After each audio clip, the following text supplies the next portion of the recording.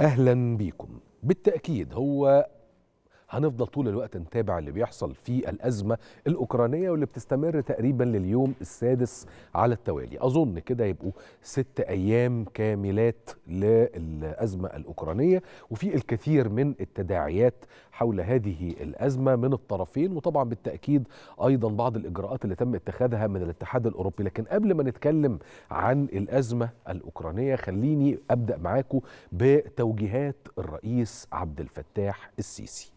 وده أيضا في إطار هذه الأزمة يعني اللي حاصلة. تنفيذا لتوجيهات فخامة الرئيس عبد الفتاح السيسي رئيس جمهورية مصر العربية فبالفعل بدأت عملية إجلاء الطلبة المصريين من أوكرانيا إلى رومانيا عن طريق طبعا الخطوط الجوية. وبالفعل بدأ مجموعات من الطلبة يستقلوا هذه الطائرات ويبدأوا إن هم بإذن الله يصلوا تباعا إلى جمهورية مصر العربية. طبعا الطلبة دول عبروا الحدود الأوكرانية إلى الدول المحيطة اللي أبدت استعدادها لاستقبال الطلبة بشكل عام من كل حتة في العالم. أقلعت طائرة شركة إير كاي كايرو بالتحديد والتابعة لوزارة الطيران المدني. كان على هذه الطائرة 181 راكب. منهم 175 من الطلاب المصريين وستة من فريق الهلال الأحمر والحجر الصحي بتتجه إلى مطار القاهرة جمهورية مصر العربية لعودة الطلبة المصريين المتواجدين في رومانيا إلى أرض الوطن بإذن الله سالمين. كمان تم إنهاء كافة إجراءات تشغيل الرحلة. بالتنسيق مع وزارات الخارجية ووزارة الهجرة وشؤون المصريين بالخارج وكافة الجهات المعنية بهذا الأمر.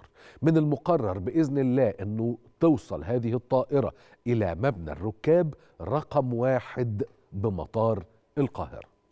جدير بالذكر ومهم جدا إنك تاخد بالك كويس قوي من الإجراءات المصرية عند حدوث أي أزمة في العالم. وهرجعك على الأزمة اللي حصلت في أفغانستان وإزاي تم إجلاء الجالية المصرية اللي موجودة في أفغانستان بالكامل وعودتها سالمة بالكامل إلى أرض الوطن جمهورية مصر العربية في حين أن دول كتير وكانت دول كبيرة ودول عواصمها هي من عواصم صنع القرار ما عرفتش تعمل اللي إحنا عملناه أو على الأقل ما كانتش بهذه السرعة. نفس القصة وإحنا في الأزمة الأوكرانية كانت كل جهود الدولة كل جهود مؤسساتها بتشتغل تنفيذا لتوجيهات الرئيس. أنا بتذكر من أكتر من 12 سنة لما كان يحصل أي حاجة مهما كانت صغيرة كان للأسف تأخرنا بيبقى شديد البطء. وكنا دايما نسمع الناس وهي بتستغيث الناس وهي تطلب العون الناس وهي تطلب المدد. وللأسف ما كانش في توجيه يحصل بشكل سليم ولا يحصل بشكل سريع علشان تقدر تجلي ولادك أو تساندهم أو تساعدهم أو تقف بجانبهم مهما كانت الأزمة. أنا مش بتكلم بس على الأزمات في الحروب. المرة دي الوضع مختلف. عاوز تعرف الوضع مختلف إلى أي مدى؟ تعالى نسمع الطلبة المصريين هم بيقولوا إيه. بوجه كلمه لسيادة الرئيس عبد الفتاح السيسي والقياده السياسية بتاعتنا دولة دولة رئاسة الوزراء معالي السفير هنا بنشكرهم على دعمهم من ساعة الوصول بتاعنا. الاهتمام المبالغ فيه وبنشكرهم كتير. تحيا مصر تحيا مصر تحيا مصر تحيا مصر تحيا مصر. الحمد لله رب العالمين ان إحنا وصلنا بخير ووصلنا بسلامة. نحب نشكر كل الناس اللي ساعدت وساهمت في إننا نوصل هنا. نحب نشكر السفارة المصرية سياده الرئيس كل الناس كل الناس اللي ساعدتنا. والحمد لله إن إحنا بخير. السفارة المصرية سيادة القنصل آه الناس كلها اللي ساعدتنا آه اللي جابوا لنا الطيارة الرئيس عبد الفتاح السيسي. نحب نشكر كل الناس اللي وصلوا لنا هنا. باذن الله نوصل مصر على خير. ده توثيق لواقع. توثيق يمكن إذا حبيت تسميه توثيق لحاجة من ضمن أو تفصيلة من ضمن التفاصيل المتعلقة بالجمهورية الجديدة. دي تفصيلة. اللي حصل في أفغانستان تفصيلة. الجمهورية الجديدة مش بس مدن جديدة اتبنت مش هقول لك بتتبني اتبنت ولسه في حاجات كتير بتتبني. الجمهوريه الجديدة نموذج اقتصادي. الجمهورية الجديدة أيضا نموذج متعلق بأن مصر بتحمي ولادها في أي ركن من أركان العالم. مرة زمان كان سنة كام؟ 2007 2008 مش متذكر كان في أزمة إيه. وبعدين صحيفة من الصحف المصرية صحيفة خاصة. فنشرت الصحيفة دي آه، جواز السفر الكندي. مش جواز سفر يعني إن هم نشروا الصفحة الأولى اللي فيها بيانات المواطن الكندي لأ. نشروا الدباجة بتاعت جواز السفر الكندي وإنه إزاي كندا تص... إنه بموجب هذا الجواز فانه كندا بتتعهد بحماية هذا المواطن في كل بقاع الأرض وإنه كل الجيش الكندي وكل المؤسسات الكندية دائما في خدمة حامل هذا الجواز. أنا أظن وقتها إن مفيش مصري لم يشعر بالغيرة الشديدة. مش بالحقد ولا بالحسد لا سمح الله غيرة شديدة. لأنه كان في الوقت ده تقريبا المصري كانت حالته صعبة قوي قوي قوي قوي جوه وبره. لو حصل له حاجة مهما صوته علي ولا حد سمعه ودن من طين والتانية كانت من عجين. النهارده أو لما شفنا اللي حصل قبل كده في أفغانستان واللي بيحصل دلوقتي في أوكرانيا تقدر تقدر تتأكد لا هو مش بس كده بصراحة هو في كل الأزمات. يا راجل ده حتى بلاش افتكر لا ما أنا هفكرك. افتكر 2015 ليبيا. إزاي مصر خدت طار ولادها. صح؟ مصر وقتها ضربت قواعد الدواعش جابتها على الأرض. في ليلة. حقيقي مش هزار. في تفاصيل كتير متعلقة بإزاي مصر بتقدر إنها تحافظ على ولادها تحمي ولادها تنقذ ولادها ايا كان شكل الأزمة. تطلع أزمة بتاعة موظف أو عامل مصري تلاقي مصر موجودة. تطلع أزمة بتاعة جالية لازم تسيب بلد أو أو أو دولة تلاقي مصر موجودة. وبسرعة وأسرع من دول كبيرة في الدنيا. حلم من الأحلام اللي كنا بنحلم بيها. فأصبح هذا الحلم الكبير تفصيله من تفاصيل الجمهورية الجديدة. عايز أرجعك بعد اذنك بعد إذنك وبعد إذنك على مسألة الأوضاع في الأزمة الأوكرانية وفي اليوم السادس. في اللحظة اللي إحنا بنتكلم فيها دي كانت وسائل الإعلام الروسية والأوكرانية بتتناقل أنباء على موعد الجولة الثانية من المفاوضات بين البلدين.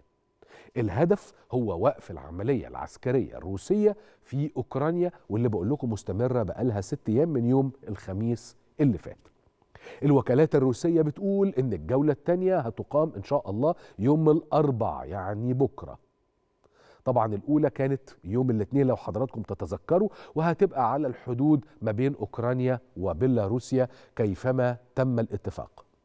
روسيا طلبت من أوكرانيا الاعتراف بالجمهوريتين دونتسك ولوهانسك.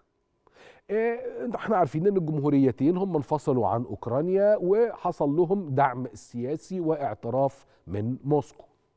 حلو كده؟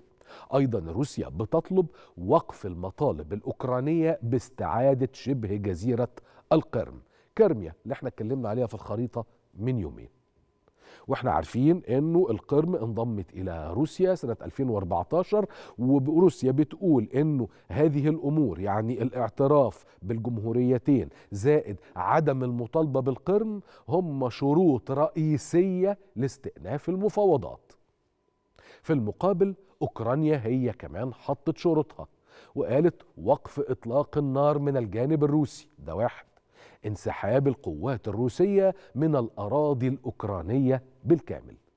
فيتهم وزير الخارجية الروسي سيرجي لافاروف الاتحاد الأوروبي بسلوك بسلوكه لمسار العقوبات بدلا من الحوار. يعني إزاي هنقعد على طاولة المفاوضات وأنتم مستمرين في العقوبات؟ ما ينفعش. دي وجهة نظر الخارجية الروسية تجاه ما يحدث. ولافروف قال في كلمته في مؤتمر نزع الأسلحة نتخذ جميع الإجراءات الممكنة لمنع ظهور الأسلحة النووية في أوكرانيا. طيب الوضع على الأرض ماشي إزاي؟ الجيش الروسي وصل لمدينة خرسون هي في جنوب أوكرانيا وهي قرب لشبه جزيرة القرم وبدأ يقيم نقاط التفتيش على مشارف هذه المدينة. التسجيلات اللي صورها الجيش الروسي كانت واضحة بدخول القوات الروسية إلى هذه المدينة. وبتأكد المصادر الأوكرانية من جهتها أن القوات الروسية قصفت ده طبقا للأوكرانيين قصفت مبنى بيشتغل كبرج إرسال تابع للتلفزيون الأوكراني في العاصمة الأوكرانية كييف. الجيش الروسي كان سبق من صباح هذا اليوم وقال يا جماعة إحنا بندعو السكان في آه كييف كافة المدنيين في سادس أيام هذه العملية العسكرية بالابتعاد تماما عن أي منشآت عسكرية أو استخباراتية أوكرانية لأننا سوف نقوم بتوجيه ضربات بأسلحة شديدة الدقة. طيب تعال نروح لمدينة أوكرانية تانية وهي تعتبر واحدة من أكبر المدن الأوكرانية إن لم تكن إن لم تكن تاني أكبر مدينة في أوكرانيا. إيه هي؟ اسمها خاركيف أو مقاطعة خاركيف. آه محافظ أو المسؤول أو حاكم خاركيف بيقول إنه وسط المدينة يتعرض لقصف روسي عنيف وبيضيف إن الجيش الروسي بيقيم نقاط تفتيش على مشارف المدينة. بس كده ده روسيا كمان أعلنت وأوكرانيا أكدت إنه تم عزل الجيش الروس الجيش الأوكراني بالكامل عن بحر ازوف ده نفس اللي كنا بنقوله تقريبا من أربع أيام إنه ده هيبقى واحد من الأهداف الروسية هي العزل عن بحر ازوف الذي يؤدي بطبيعة الحال إلى البحر الأسود ثم المياه الدافئة كما سبق وذكرنا. لحد كده ده الموقف اللي واقف أو اللي واقف عليه الروس والأوكران على الأرض. العقوبات ال ال ال الأوروبية أصبحت قيد التنفيذ لو صح الكلام إلا إنه حتى الاتحاد الأوروبي يؤكد إنه في إطار الاستمرار في فرض المزيد من العقوبات الاقتصادية على روسيا فنحن نعلم جيدا أنها سوف تؤدي إلى مشاكل في الاقتصاديات الأوروبا الأوروبية وعلينا أن نستعد لذلك. من جهة أخرى أيضا البريطانيين جونسون تحديدا أبدى استعداد قال نصا مش مش هقول لك أبدى استعداده قال نصا يجب علينا أن نستعد لإيه؟ لاستقبال اللاجئين من أوكرانيا. وهنا هنفضل نتابع مع حضراتكم كل يوم تقريبا طالما امتدت هذه العمليات العسكرية أو هذه الأزمة اللي بنتمنى إنها تنتهي على خير. هتنتهي إزاي؟ هو ده بقى اللي إحنا هنتركه للزمن والمحللين وكتاب المقالات. تعال نروح بقى هنا للداخل المصري مرة تانية لأن هناك أزمة كبيرة بتحصل في العالم. أنا أظنها إنها أهم وأكبر بكتير من الأزمة اللي بتحصل أزمات الحروب مش بس الأزمة الأوكرانية أي أزمة حروب. هي فكرة الجائحة الكبرى التي ضربت هذا الكوكب في 2020 و2021 ومستمرة معانا لحد دلوقتي اللي هي كارثة الكورونا. خد بالك أنا مش عايزك تنشغل بالحرب الأوكرانية فتنسى نفسك. لا احمي نفسك. وبالمناسبة ده الهاشتاج اللي موجود على صفحات ومنصات التواصل الاجتماعي في كل مكان. احمي نفسك. ما تخليش الحرب تنسيك التطعيم. ما تخليش انشغالك بالقنوات الإخبارية ينسيك التطعيم. وبرضه ما تخليش إنه متابعتك لبرنامج التاسعة تنسيك التطعيم وعليه إحنا نشجعك أكتر على إنك تحمي نفسك. ادخل على الهاشتاج بالمناسبة اللي هو احمي نفسك واقعد شوف اللي بيتقال هتلاقيه على صفحة مجلس الوزراء جمهورية مصر العربية. مصر عملت كل شيء ممكن خد بالك كل شيء ممكن عشان يتم توفير اللقاحات للمواطنين وبالمجان. كل شيء ممكن بدأ من أنه مصر حصلت على بعض اللقاحات المجانية في الأول خالص. وبالمناسبة حصلت عليها كواحدة من أوائل الدول اللي قدرت تحصل لمواطنيها على لقاحات. وبعدين مصر اشتغلت بمنتهى السرعة على أنها تشتري لقاحات على حساب الدولة على أنه يتم توزيعها على المواطنين مجانا أو تلقيح المواطنين مجانا دون أي قيد ولا شرط ولا رسوم على الإطلاق. كويس خالص. وبعدين مصر اشتغلت على إنها تعمل إيه كمان؟ تصنع اللقاح في مصر. ومصر دلوقتي شغالة في الخطوة الرابعة وهي صاحبة الأهمية الكبيرة على الأقل بالنسبة لواحد زي حالاتي. إيه هي يا يوسف؟ أقول لك إن مصر مش بقى بدأت تصنع ما إحنا بدأنا تصنيع اللقاحات عندنا اللي هو عن طريق شركة فاكسيرا. لا. مصر بدأت تشتغل على أبحاث اللقاح المصري واللي بات قاب قوسين أو أدنى من أنه يظهر للنور بعد ما يتم تجربته ويتم نشر أبحاثه في كبريات المجلات العلمية المعنية بهذا الشأن. مصر عملت كل حاجة علشان تسرع وتيرة وصول اللقاح للمواطن. فعملت إيه؟ اللقاح أصبح متوافر في كل المستشفيات. بس كده لا ده إحنا كمان هنخليه متوافر في أماكن للتلقيح آه اللي هي وحدات متنقلة. تلاقيها موجودة في المولات وتلاقيها موجودة في الميادين وتلاقيها موجودة في الشوارع. ده إحنا كمان هنعمل مكاتب للتلقيح. عملنا ده؟ عملنا بقى مواد أماكن كمان لتلقيح المواطنين بالأمصال واللقاحات الخاصة بكورونا موجودة في المترو وفي السكة الحديد ولكبار السن هوديها لك لحد البيت. ولو مش كبير السن ولكن لديك شيء ما مرض شديد يحول دون تحركك من منزلك. ما عندناش مشكلة هنبعت لك اللقاح لحد باب سيادتك. تحت أمرك المواطن المصري كلامه أوامر. ده اللي عملته مصر.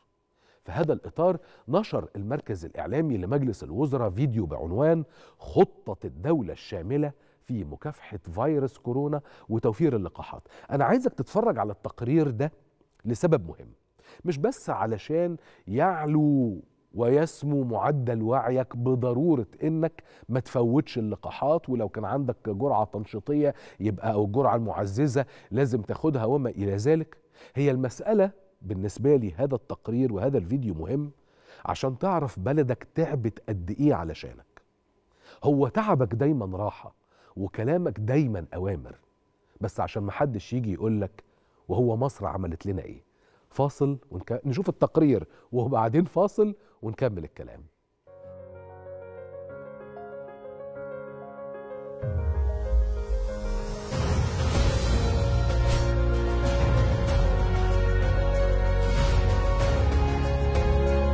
بعد عامين من تفشي جائحة كورونا وظهور اللقاحات والأمصال ذات الفاعلية والأمان استطاعت الدولة المصرية أن تمضي في خطة شاملة لتحصين مواطنيها باللقاحات والعمل على تصنيعها لضمان توفرها.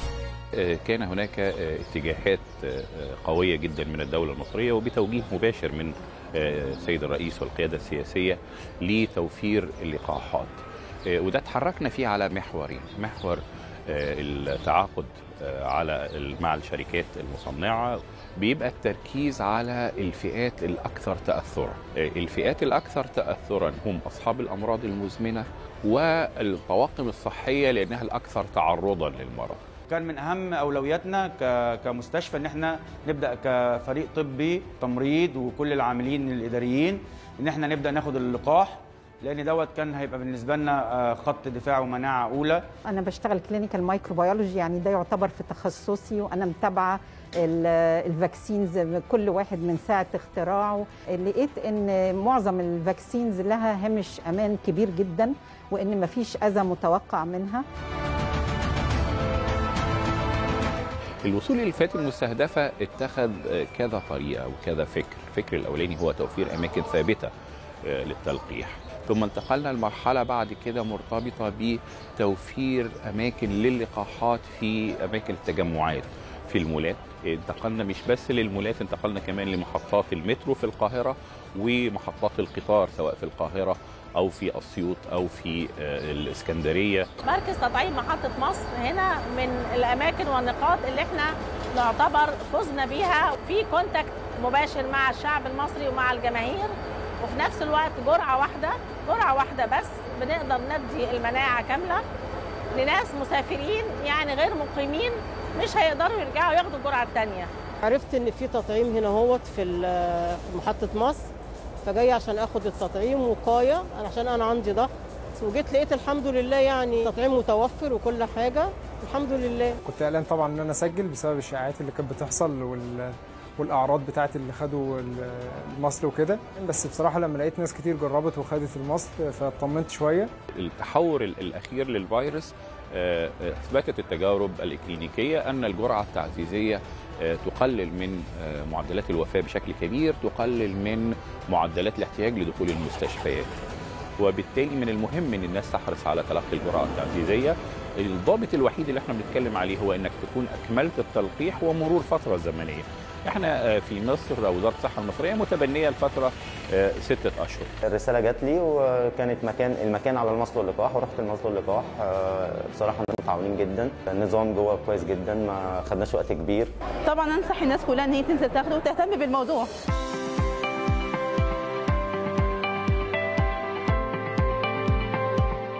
Today, I'm delighted to announce the first six African countries that will receive technology from the hub to produce their own mRNA vaccines Egypt, Kenya, Nigeria, Senegal, South Africa, and Tunisia. المحور الثاني وده كان في منتهى الأهمية هو تصنيع اللقاح في مصر آه، من خلال آه، مصانع آه، آه، طبعا شركة فاكسيرا هي الشركة الوحيدة في جمهورية مصر العربية ومن أعرف وأقدم الشركات لإنتاج الأمصال واللقاحات. إحنا هنا في المصنع اللي بينتج لقاح الكوفيد آه، ابتديناها بالتفاوض مع الشركة الصينية الناقلة لتكنولوجيا التصنيع. إلى مرحلة التصنيع الكامل حاليا ونزول المستحضر إلى الأسواق وإن ابتدى يطعم به المواطنين داخل مراكز التطعيمات. إحنا عندنا طاقة إنتاجية في المصنع هنا في العجوزة فإحنا بننتج يوميا حوالي 320 ألف جرعة يوميا الرؤية المستقبلية إن مصر تكون واحد من أحد المراكز مش بس لتغطية السوق المصري لكن إحنا بنسعى لتغطية القارة الأفريقية من المستحضرات. ثبتت مأمونية اللقاح للحامل والمرضع بل على العكس كمان ثبت أهمية اللقاح للحامل لأنه في الأشهر الأخيرة من الحمل آه، ال- ال- المرأة بتبقى آه، الجهاز المناعي عندها أكثر ضعفا وبالتالي بتبقى أكثر عرضة للإصابة. الأطفال آه، المرحلة العمرية من 12 سنة هي المرحلة اللي بدأنا فعلا آه، توفير اللقاح ليها آه، بعد أن ثبتت أيضا مأمونيته. أنا سجلت على الموقع وبعد كده بعتوا لي على هنا فاخدت جيت أخدت ال- المصل الجرعة الأولى والنهاردة الجرعة الثانية والحمد لله كنت كويسة ونزلت شغلي عادي ومحسيتش بأي حاجة. قدمت على الموقع الإلكتروني كان التقديم سهل وكل حاجة جات لي يوميها الفجر. آه، إن أنا آجي اكاديميه الفنون هنا. جيت وقفت بره طابور لحد ما دخلت هنا وأخدت رقم أهوت ومستني دور هيئة الدواء المصرية وافقت على آه، عقار المولنا برافير وهو عقار ثموي يؤخذ للبالغين في بداية المرض لتقليل وهو مضاد للفيروس لتقليل آه، شدة المرضى أو الاحتياج لدخول المستشفيات. ولا زالت خطة الدولة المصرية مستمرة باستراتيجيات وآليات للوصول للعدد المستهدف تلقيحه من عموم الشعب المصري كافة وفق آليات وضوابط أقرتها منظمة الصحة العالمية.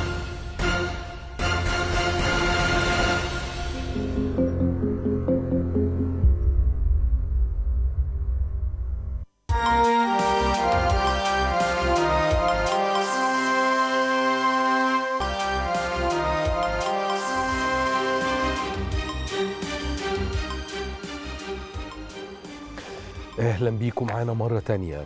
بطبيعة الحال لازم طول الوقت يفضل في تعاون ما بين الدول العربية وبعضها البعض في كل المجالات الممكنة.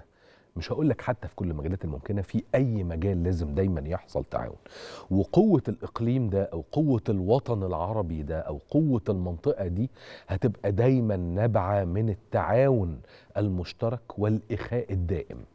غير كده الناس تستضعفنا وتيجي علينا.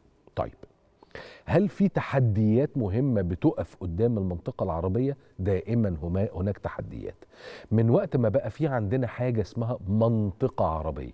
ممكن أقول لك الكلام ده مثلا مثلا من وقت الدولة الأموية مرورا بالعباسية بالدول التي انفصلت وانبثقت عنها حتى اللحظة اللي إحنا فيها دايما في تحديات.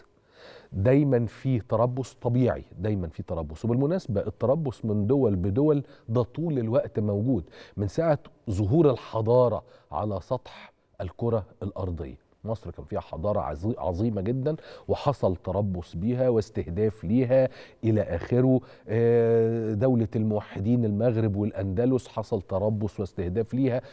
طول الوقت ده موجود. طيب تعالى تعالى نروح على مسألة ال- التعاون المستمر.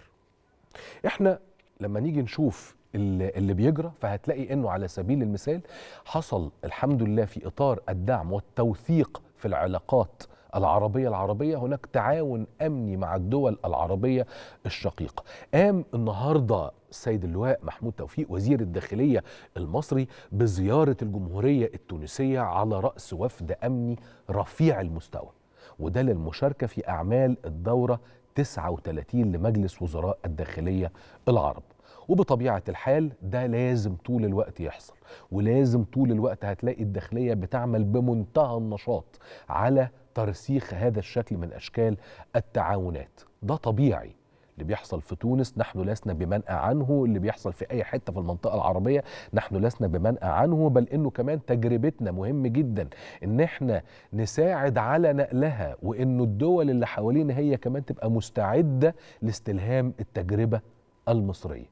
بتبدأ الفعاليات يوم 2 مارس في العاصمة التونسية. كان في استقبال آه، سيادة الوزير لدى وصوله لمطار تونس قرطاج تحديدا السيد وزير الداخلية التونسي والسفير المصري طبعا لدى الجمهورية التونسية والأمين العام لمجلس وزراء الداخلية العرب ومجموعة كبيرة من قيادات وزارة الداخلية المصرية. أكد وزير الداخلية لدى وصوله إلى العاصمة التونسية على أهمية المشاركة في هذه الفعاليات وهذه الدورة الحالية للمجلس. في ضوء تعاظم التحديات الأمنية اللي بتواجهها الدول العربية. وأشار معالي الوزير إلى ضرورة تفعيل آليات التنسيق الأمني الثنائي على جهة ومتعدد الأطراف بشكل أعم فيما بين الأجهزة الأمنية العربية لمواجهة التحديات المرتبطة بإيه؟ أكبر تحدي بيواجهنا الفكر المتطرف. وخد بالك من منطوق الوزير الفكر المتطرف. سيادة الوزير ما قالش المواجهة الأمنية للتطرف وحسب قال مواجهة الفكر المتطرف. ودي هنا حاجة بتعكس طريقة تفكير الداخلية المصرية. كمان وجه سيادة الوزير الشكر لنظيره التونسي على ما لقاه الوفد المصري من حفاوة وترحاب من وقت وصوله للأراضي التونسية وبيشيد بالجهود الدؤوبة اللي بذلتها وزارة الداخلية التونسية والأمانة العامة لمجلس وزراء الداخلية العرب علشان هذه الفاعليات تنجح في دورتها الوزارية السنوية. فيعني خلونا نتمنى التوفيق لداخليتنا المصرية بشكل خاص وللداخليات لو صح التعبير يعني أو وزارات الداخلية بالمنطقة العربية ككل في مواجهة هذه هذا التحدي الأكبر والأشرس والأهم على الأمن العربي ألا وهو الفكر المتطرف. من ده تعالى نشوف تحدي آخر مصر أيضا بتقف قدامه. لكن التحدي ده هنتكلم فيه من زاوية تبدو مختلفة شوية وهو أو زاوية المنتدى الدولي في النمسا واللي بيناقش تجربة مصرية رائعة الحقيقة فعلا رائعة في استثمار 32 ألف شاب مصري للتوعية بأضرار المخدرات. من منا ينكر أنه انتشار المخدرات في صفوف أو في الأوساط الشبابية مش بس بقى في مصر في العالم أصبح شديد الخطورة شديد الخطورة. لو جيت سألتني هقول لك المسألة ما هياش مسألة تجارة رابحة مهما كانت حرمانيتها وعدم قانونيتها فتدر مليارات من الدولارات على المتاجرين فيها فبيدوروا دايما على أسواق. وبطبيعة الحال الفئات المستهدفة بتبقى الشباب. المسألة أظنها. فأحيانا كتير كتير بتبقى فيها دفع من دول من أنظمة من أجهزة لأنها تخمد من جزوه الشباب تخمد من طاقة الشباب تدمر هذه الفئات قدر الإمكان. لأنه هذا التدمير بيبقى تدمير عقلي ونفسي وبالتأكيد جسماني. وبالتالي شيء طبيعي إن دول تناصبك العداء علنا أو تضمر لك العداء والغيلة في قلوبها تحاول قدر الإمكان إنها تخترق شبابك وتحاول قدر الإمكان إنها تدمرهم عن طريق هذا أو يعني هذه العادة. شديدة الخطورة شديدة السوء.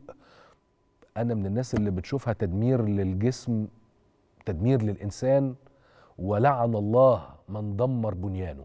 والإنسان بنيان الله. فعلا يعني. ففيها من الحرمانية أكثرها وأعلاها يعني. دي وجهة نظري ليست فتي على الإطلاق أنا لست أهلا للفتوى خالص يعني بس دي وجهة نظر.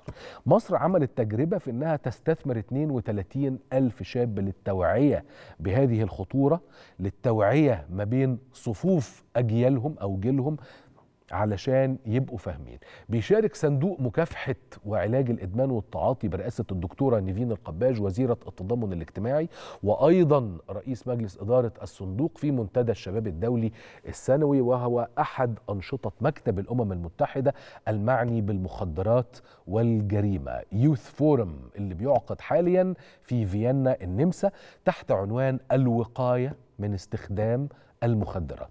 قامت الدكتورة غادة والي بصفتها وكيل السكرتير العام للأمم المتحدة وهي المدير التنفيذي لمكتب الأمم المتحدة المعني بالمخدرات والجريمة في فيينا بافتتاح فعاليات المنتدى بمشاركة وفود من 43 دولة العدد الحاضر من الشباب 74 شاب وفتاة من آه هذه الدول على مستوى العالم كانوا بيشاركوا في آه هذا المؤتمر اليوث فورم اللي مقام في فيينا النمسا. فمهم جدا التجربة المصرية ومهم جدا إنه يعني يتم أو تتم مناقشتها وبالفعل بتتم مناقشتها هناك في فيينا دلوقتي. كم من تجارب مصرية أصبحت قيد الإعجاب وقيد التناول. خلينا نرحب على التليفون بمعالي الوزيره الدكتورة نيفين القباج وزيرة التضامن الاجتماعي. أهلا بحضرتك يا فندم. أهلا وسهلا يا أستاذ يوسف. بسعد دايما أبقى مع حضرتك لا ده أنا اللي أسعد. أنا اللي أسعد وأتشرف الحقيقة. يمكن هبدأ الكلام على منتدى فيينا والتجربة المصرية بإن إحنا قدرنا إن إحنا نخلي 32 شاب وشابة يقوموا هم أو استغلينا طاقتهم في التوعية بأضرار المخدرات. التجربة دي بدأت إمتى ووصلت إلى فين يا فندم؟ إحنا عندنا يمكن تحت الصندوق عندنا ما يقرب من 30 ألف متطوع. الحقيقة إحنا بنعتمد اعتماد كامل على المتطوعين في أكثر من مبادرة سواء في الهلال الأحمر المصري أو في صندوق مكافحة الإدمان. ودلوقتي كمان عندنا برنامج وعي في تحت مظلة الوزارة. بنقوم بحركة تطوع وإن شاء الله تصدر عن الوزارة الاستراتيجية الوطنية للتطوع الأولى في آخر هذا الشهر. إحنا يمكن مفهومنا للتطوع بيقوم بس بمشاركة الشباب في العمل الاجتماعي وتحفيز روح الانتماء والوطنية لكن القضايا اللي بيشتغلوا عليها قضايا هامة جدا. وأولها مسألة مكافحة وعلاج الإدمان. وده لأن الشباب لما بيعمل توعية للشباب اللي زيه ومن سنه بيبقى رسالته بتوصل أكتر. بعض من الشباب المتطوع كمان معانا من المتعافين أنفسهم وسخروا نفسهم لل... لهذه المهمة. إحنا طبعا بنشرف إن يعني معي الوزيرة السابقة غدا ويلي بترأس صندوق مكافحة أو بترأس الأمم المتحدة مكافحة الإدمان ومكافحة العنف والجرائم والجريمة. فالحقيقة إحنا دايما ما بيننا تعاون من فيينا ومن كافة دول العالم. يمكن كان في التجربة على مدار خمس أيام من أول 28 فبراير لغاية 4 مارس كان دعانا مكتب الأمم المتحدة للمخدرات والجريمة بالنمسا لمشاركة الصندوق في إن يرشحوا أحد القادة من الشباب المتطوعين لأنه يمثل مصر في المنتدى. لأن التجارب بتعرض وإحنا بنعتبر إن تجربتنا ناجحة جدا في جمهورية مصر العربية وده إحنا بنشتغل على الطلب.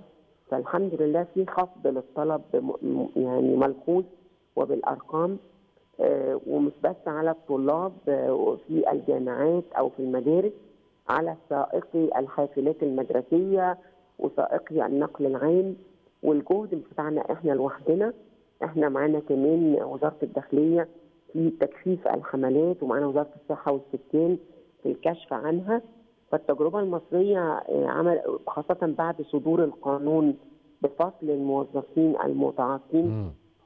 فعمل ردع كتير قوي عن الفترة السابقة. نزلت النسبة تقريبا في الجهاز الحكومي من 8% ل 1.8% نزلت من برضه في سائقي الحفلات من 11 ل 8 ل 6 ل 2% فدي كانت تجربة ناجحة. آه، بيقوم بيها كمان إحنا بندخل المناطق المدورة آه، اللي منقول ليها سكان المناطق غير الآمنة والعشوائية. وهم نفسهم بيقدموا على ال- ال- مساله العلاج والتعافي. بنعمل خدماتنا في سرية تامة وفي خصوصية تامة آه، وفي مجانية تامة. رائع جدا. اقبال من الشديد رائع جدا. طب دكتور نيفين آه، هل أقدر وصححيني لو أنا غلطان أقدر أربط ما بين آه، ال 32 ألف شاب اللي بيشتغلوا على التوعية بأضرار المخدرات وهذا الاستخدام القاتل لو صح التعبير وفي نفس الوقت إنه ده أكيد بينعكس بشكل ما على يمكن الجلسة أو محت أو الم- ال ال القضية المركزية بتاعه آه، الجلسة النقاشية بتاعت امبارح ألا وهي تنمية الأسرة المصرية. هل المسألة دي بتنعكس على المشروع القومي لتنمية الأسرة المصرية؟ وهل أيضا مسألة التطوع ودعمكم للاستراتيجية الوطنية للتطوع ممكن كمان نستخدمها في مسألة توعية الشباب المصريين اللي لسه مقبلين على الزواج أو في السنوات الأولى من زواجهم للتوعية بهذه القضية وبهذا المشروع الكبير؟ إحنا من طرفنا يعني يمكن الأسرة عندنا بنشتغل عليها على أكثر من محور مش بس في موضوعات تنظيم الأسرة أو أو الحد من الزيادة السكانية يمكن معظم خدماتنا آه، بتخص كمان خصائص الأسرة. من أول الطفولة المبكرة والالتحاق والإلحاق بالحضانات لغاية ال- ال- تكافل وكرامه وشرط الالتحاق بالمدرسة والرعاية الصحية آه، الأطفال اللي بيتسربوا من التعليم بنعيدهم للمدارس المجتمعية بالتنسيق مع وزارة التربية والتعليم والمجتمع المدني. آه، مسألة النساء إذا تم تعريضهم للعنف أو الأطفال آه، مسألة أيضا المسنين مسألة ذوي الإعاقة إذا كان في آه، آه، شباب أو شابات عرضة للإدمان أو التعاطي فإحنا بناخد الأسرة بكل أفرادها من أول الأطفال لغاية المسنين فإحنا بنعتبرهم جزء من الدولة المصرية لأن هي الدولة إيه؟ هي مجموعة من الأسر صح. والأسر إذا صلح حالها هيصلح المجتمع. المجتمع والدولة وال... الحال. والدولة بشكل عام فبنشتغل كمان على الوعي بتاع الأسر على الاكتشاف المبكر. للمشكلات إذا كانت اعاقه بنقول للأمهات إزاي تعرف إن ابنها على مشارف إن هو ممكن يتعاطى أو إن هو ممكن يكون جرب المخدرات قبل ما يندرج لمرحلة متقدمة فإحنا يعني الأسرة بالنسبة لنا كوزارة تضامن إحنا بنخدم الفئات المختلفة من, من أول بقول لحضرتك لغاية المعاش لغاية حتى ما بعد وفاة الشخص وال والقائمين على الحصول على معاشه أثناء حياته. العمالة غير المنتظمة ال- الأسر المنتجة الأسرة اللي بتنتج أو السيدة لو آه، عايزة تجي لها فرصة عمل. وكنا لسه امبارح بنقول إن الدور الإنتاجي لو زاد هيقل الدور الإنجابي مباشرة لأن ال- العقلية بتختلف مستوى حياة الأسرة بيتحسن بيذوقوا جانب آخر من الحياة كانوا محرومين منه.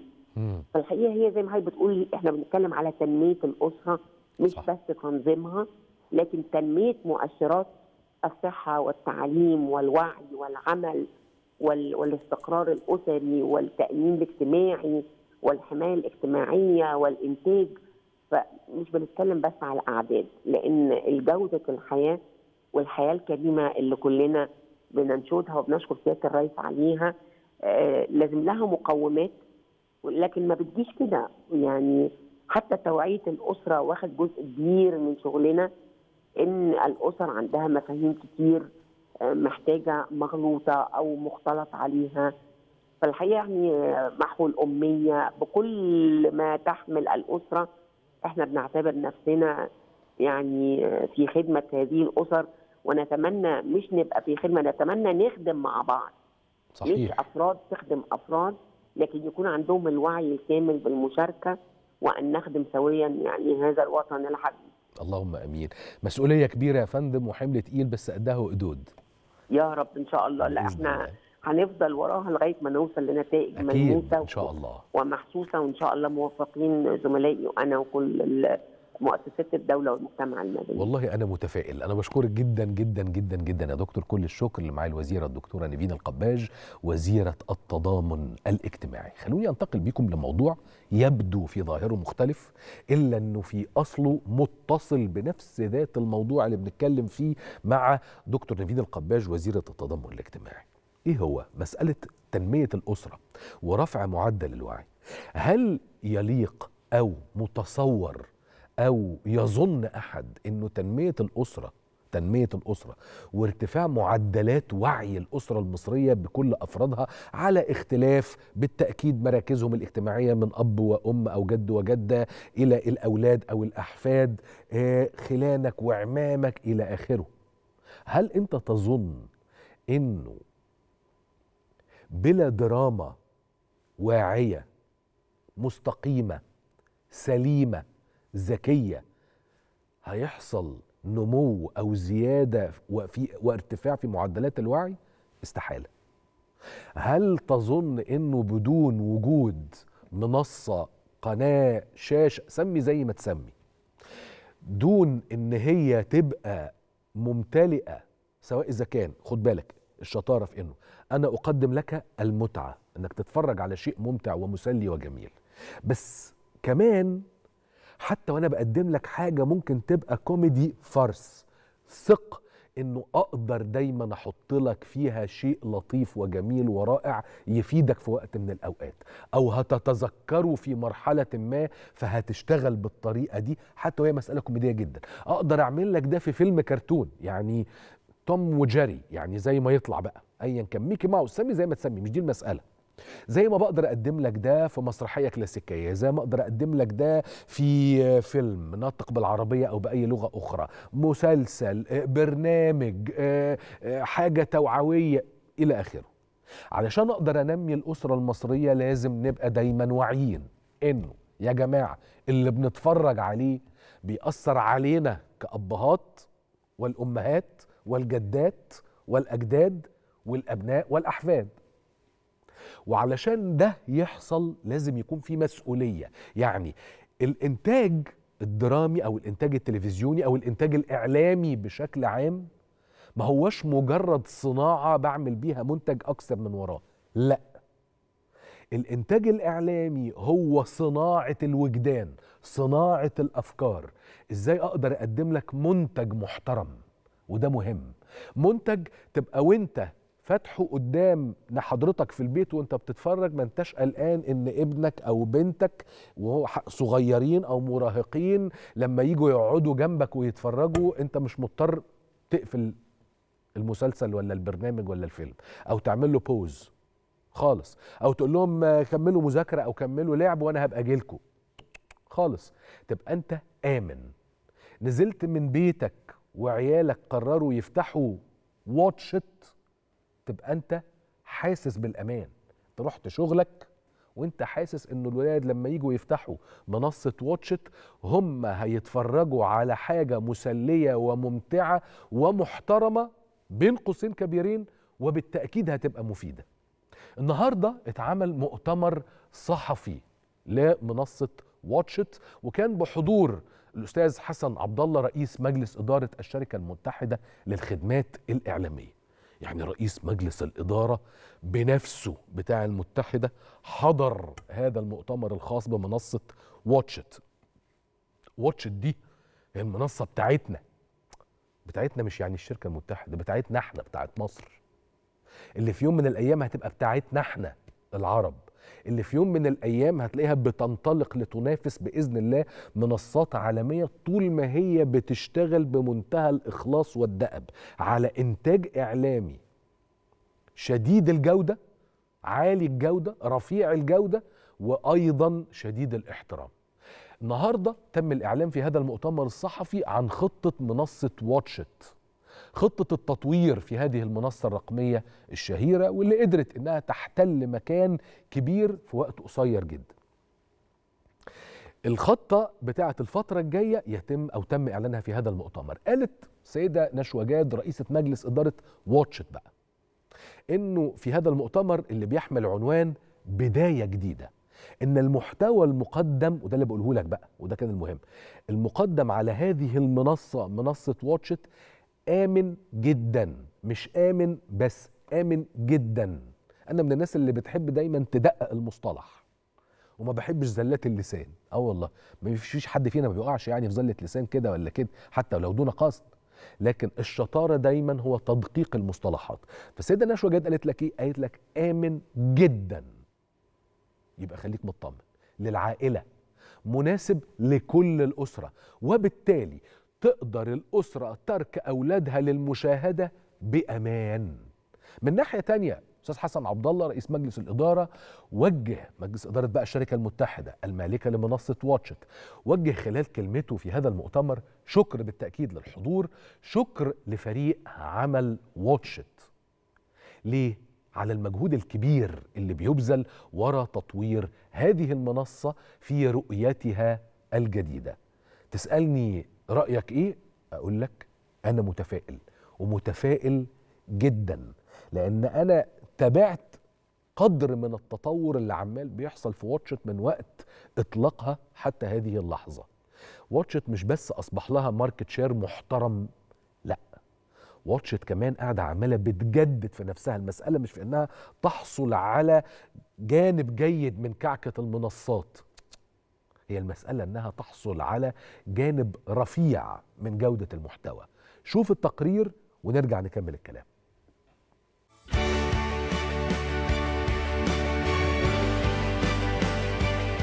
أنا هنا لمجرد حاجتين محددين.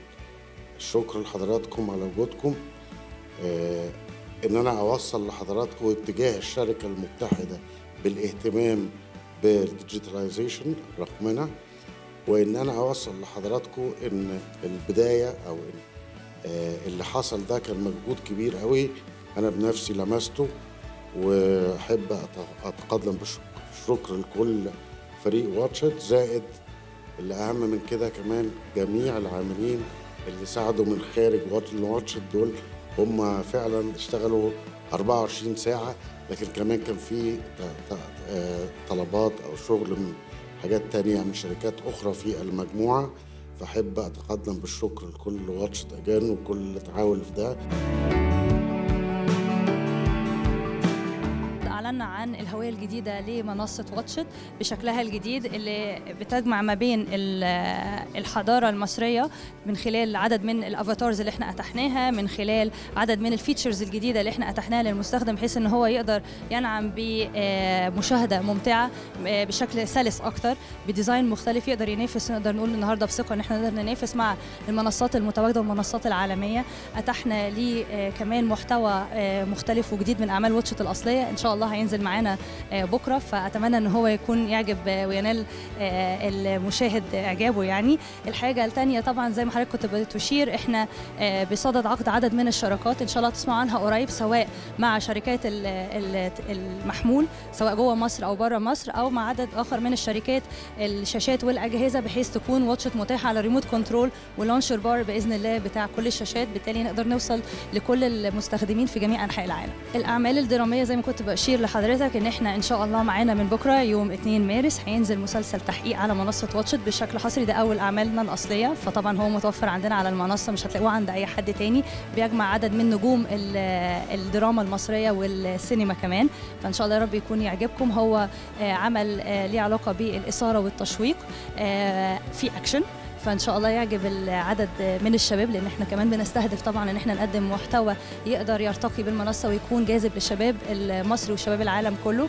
دي كنا حريصين عليها جدا في واتشت. الحاجة الثانية اللي هتكون معانا قريب إن شاء الله قبل رمضان ومكملة معانا في رمضان برنامج جديد اسمه شيف بالبيت. ده عن الطبخ بشكل مختلف باعتبارنا منصة رقمية وبالتالي كنا لازم نقدم الطبيخ المواكب للعصر خليني أقولها بالشكل ده. نعتز بالشراكة مع الهيئة الوطنية للإعلام كنا حريصين على على تجديد هذه الشراكة وإن إحنا نستعرض ماسبيرو والمكتبة الثرية الخاصة به سواء من المسلسلات من سهرات من برامج تلفزيونية من أفلام وثائقية حتى موجودة في ماسبيرو كانت مهمتنا في الحتة ديت لإن إحنا بنهتم بيه إن إحنا جميع أجيال سواء النهارده أو حتى الأجيال اللي جاية نحافظ لها على التراث. مش بس المصري أقدر أقول التراث العربي لإن العالم كله اتربى على ماسبيرو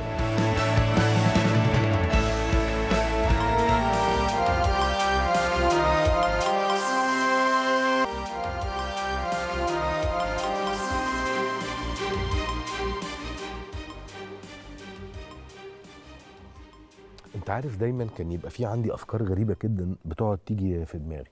آه، هي غريبة مش خطيرة. يعني مثلا زي إيه؟ لما تيجي تقعد تشوف في حضارات قديمة جدا سحيقة يعني وحتى من قبل ميلاد السيد المسيح عليه السلام هتلاقي إنه الستات في هذه الحضارات القديمة كان ليهم أدوار مهمة جدا طول الوقت. جدا. يعني بيشتغلوا في كل حاجة. إحنا هنا بنتكلم على حاجات من آلاف السنين. من آلاف السنين. حتى إنه في حضارات مش هقول لك يا سيدي حضارات شعوب ما بنتش حضارة بالمعنى المفهوم الحرفي والحقيقي لكلمة حضارة زي آه، الشعوب بتاعه اسكندنافيا أو الفايكنج على سبيل المثال. ما تقدرش تقول إن كان ليهم منتج حضاري بس شعب موجود وغزا مناطق كبيرة جدا آه، من أوروبا. بعض بعض الدراسات بتفيد إن هم حتى نزلوا إلى جنوب المتوسط ودخلوا بعض ال- المدن. برضو النساء كانت بتقوم في هذه الشعوب. اللي ما كانش ليها إنتاج حضاري وكانت أقرب إلى الهمجية أو التوحش الستات فيها كانوا حكام مقاطعات وقائدات لكتائب وحاجات زي كده. إيه الغريب طيب يا عم يوسف؟ الغريب إنه المجتمع البشري والمجتمع الإنساني مفترض جدا إنه مع تطوره فبيتطور كمان في نطاق الحريات الاجتماعية والمدنية وما إلى ذلك. تلاقي إنه لا اللي حصل ده في العالم اللي حصل إنه حصل تراجع غريب جدا. جدا. أدى إلى إنه حتى في أوروبا بالمناسبة لفترة طويلة جدا عصور الظلام تراجع تراجع جدا دور المرأة وحبسوها في البيت واعتبروها آه، يعني لا تصلح إلا للمطبخ ولتربية الأطفال أو للإنجاب وتربية الأطفال والسلام عليكم. ما تطلعش بره البيت يعني. بعد كده تبدأ أوروبا تاني تحاول تعيد إنتاج حضاري أكثر حداثة وتخرج المرأة بالمناسبة بعد كده وده بالمناسبة برضه خرجت متأخر يعني ما هياش بدري. وخلي بالك أول خروج حقيقي للمرأة من المنزل كان مع الحرب العالمية الأولى مش كما يشاع يعني أوروبا التي تقدمت وأنارت العالم. كل ده كلام فاضي يعني مش حقيقي خالص خالص يعني. ملوش أي أساس من الصحه متحفظين جدا يعني طول الوقت. بقول لك هم خرجوا بسبب الحرب بعد الحرب العالمية الأولى نتيجة إنه الحرب أبادت الرجال والشباب. بس مش دي المسألة هي المسألة إنه لما بنيجي نتكلم لك وأخيرا المرأة قدرت إنها توصل لكذا وتصنع كذا وتشارك في كذا هو ده المفروض كان يبقى مستمر. هتلاقي إن إحنا في اليوم العالمي مثلا للحماية المدنية أول فريق إطفاء نسائي في مواجهة النيران. يعني عندنا فرقة إطفاء نسائية. بنعتبر ده وكأنه البيان العملي من الحماية المدنية. إن إحنا يبقى في عندنا سيدات وفريق نسائي في الحماية المدنية وتحديدا مطافي. ودي مهمة طبعا هي شديدة الصعوبة شديدة الخطورة وبتحتاج تدريب فائق. لواء طارق الجمل وكيل الإدارة العامة للحماية المدنية سابقا أهلا بيك يا فندم. أهلا بحضرتك إزاي يوسف. كله. تمام؟ تحياتي لحضرتك والساده المشاهدين. تحياتنا لحضرتك يا فندم. يعني آه، كيف ترى آه، آه، أول فريق نسائي في الحماية المدنية تحديدا إطفاء؟ والله طبعا شيء جميل جدا وشيء رائع إن إحنا نشوف ال- العنصر النسائي. زي ما بيشارك في مجالات كتير بيشارك في مجال آه، صعب ومجال مش سهل وبيحتاج آه، آه، من ال- ال- الجرأة آه، والشجاعة والإصرار آه، آه، إن هم يوصلوا للهدف بتاعهم. وطبعا بالنسبة لل- للعنصر النسائي آه، في الغالب يعني آه، معروف عنه إن هو مش آه، آه، مش بالدرجة اللي هو بالجرأة اللي هو يقتحم النيران و- و- ويعمل عمليات إنقاذ وتنزل من على حبل من من الطابق الخامس أو السادس طبعا ده شيء آه، آه، آه، جيد جدا وشيء رائع ومتقن وفني ويتسم بالدقة المتناهية. طبعا دي كانت براعة هنقول عليها قد تصل لحد الاحترافية. شيء جميل جدا إن إحنا نشوف ال- العنصر النسائي بال- بالكفاءة دي وطبعا يعني إنها تنزل بحبل بالشكل ده شيء يفوق ال- الوصف يعني وده طبعا آه، ما جاش كده من فراغ إحنا بنقول إن هدف الناس دي هي إنقاذ إنقاذ آه، آه، الضحايا اللي محصورين في موضع معين وبيحتاجوا حد ينتشلهم من هذا الوضع إلى وضع أكثر امانا. طبعا على قدر الهدف تكون سرعة الانطلاق. العنصر النسائي تم تدريبهم بالشكل الكافي واللازم. لكن طبعا الكلام ده كان بيستتبعوا أو بيسبقوا إصرارهم وهدفهم إيه من التدريب وهيحققوا إيه من نتيجة في خدمة المجتمع. فطبعا كان شيء رائع جدا وأداء أنا هسميه أداء بطولي. وإحنا عايزين نعظم دور المرأة في هذا المجال. وطبعا هو مجال الإطفاء ومجال الإنقاذ أيوة. طبعا مجالين جيدين جدا وبيحتاجوا من القائمين على العمل في هذا المجال زي ما قلت الجرأة والشجاعة والإيثار والتضحية والكفاءة في الأداء طبعا. وطبعا ده إضافة للتقنيات الحديثة والتجهيزات اللي بيتم التدريب عليها لاستخدامها في هذا الشأن. صحيح صحيح. أنا بشكرك جدا سيادة اللواء نورتنا وشرفتنا. إلى أن نلتقي قريبا لازم نقعد نتكلم شوية على مسألة الحماية المدنية وتطورها. الحقيقة الكبير اللي حصل في مصر كل الشكر لسيادة اللواء طارق الجمال وكيل الإدارة العامة للحماية المدنية سابقا. لأن الناس بالمناسبة اللي مش مستغربة على الإطلاق هذا الخبر. ليه؟ لأنه هو الستات دايما عندهم صبر وإصرار وجلد مذهل. آه والله. وإصرار الستات أكتر من إصرار. يعني الست لو فكرت في حاجة ما بتهمدش غير لما تحصل غير لحد ما تحصل. بس في مسألة الحماية المدنية دي كمان أنا بظن مجرد ظن يعني. إيه هو؟ الستات دايما عندهم غريزة الحماية عالية جدا. الست أم. فهي دايما مستعدة للصراع لدرجة الاستقتال.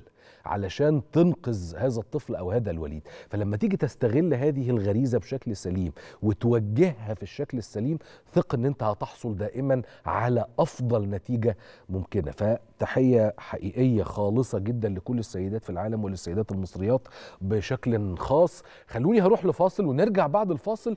نقعد قعدة لطيفة جدا فيها موسيقى وفيها تمثيل وفيها مناقشات مع أبطال العرض المسرحي سالب واحد. يارا المليجي واستنوا لما أقرأ لكم بقى عشان أنا بنسى الأسامي. يارا المليجي وسالي سعيد بدأنا بالبنات أهو. مصطفى رشدي إيه ده؟ ما معقول طيب خليني أقرأ من مصطفى رشدي عبد الرحمن محسن مصطفى عبد الهادي أحمد حسني عبد الله صابر مخرج العرض. استنونا بعد الفاصل لو سمحتوا.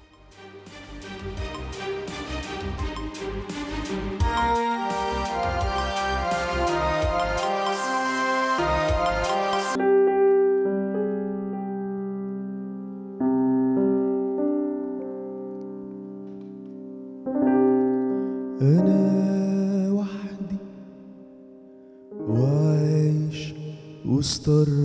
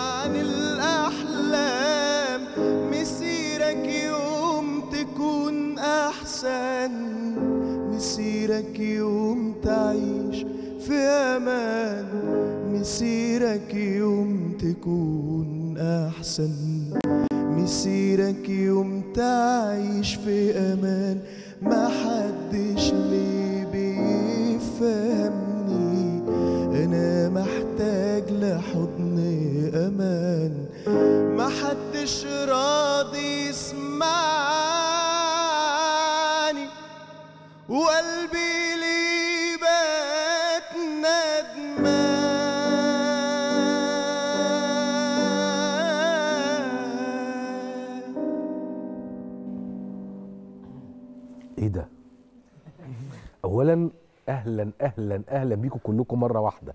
واللي ما جوش أهلا بيهم برضو حتى لو كانوا لسه بيتفرجوا في البيت حسابهم معايا بعدين. بس آه، إيه ده؟ انت اللي كاتب الكلام ده؟ لا يا عبد انت اللي. كاتب. انت مخرج ومؤلف الأغاني. أيوة. وانت عملت المزيكا. ده أنتوا شطار قوي. احمد حسني عبد الله صابر يارا المليجي سالي سعيد بس سالي زميلتنا. و... ومصطفى عبد الهادي. شفتوا أنا فاكر إزاي ما بتهزر آه والله. استنى. عبد الرحمن محسن. آه عبد الرحمن. قفشت. وبعد كده مصطفى رشدي. آه. طيب واحدة واحدة بقى.